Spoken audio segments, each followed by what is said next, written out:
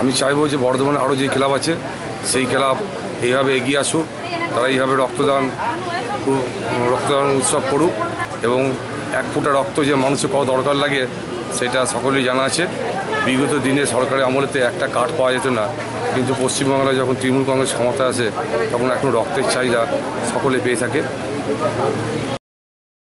যাতে এক ফোঁটা রক্তের জন্য একটা অমূল্য জীবন বাঁচে, তাই মমতা বন্দ্যোপাধ্যায় শপথ নেওয়ার পর ঘোষণা করেছিলেন, সারা পশ্চিমবাংলায় আমাদের যারা তৃণমূল কংগ্রেস কর্মী নেতারা আছেন, তাদের উদ্যোগে যেন প্রত্যেক বছর রক্তদান অনুষ্ঠান হয়।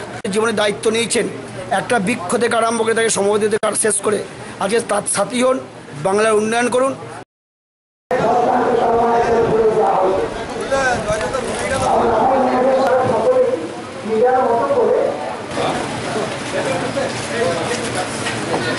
Thank you. আমাদের এই অঞ্চলে ভাই ভাই সংঘ সবসময় সমাজ কল্যাণমূলক কাজে নিজেদের নিয়োজিত করে আসছে। দীর্ঘদিন থেকেই করে আসছে।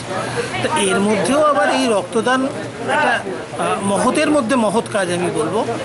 আর এই যে মানুষের মধ্যে আরও বেশি করে এই চেতনাটা জাগিয়ে দেওয়া, সেটা বেশি করে দরকার। সফল হোক আরও ছড়িয়ে পড়ুক এই চেতনা।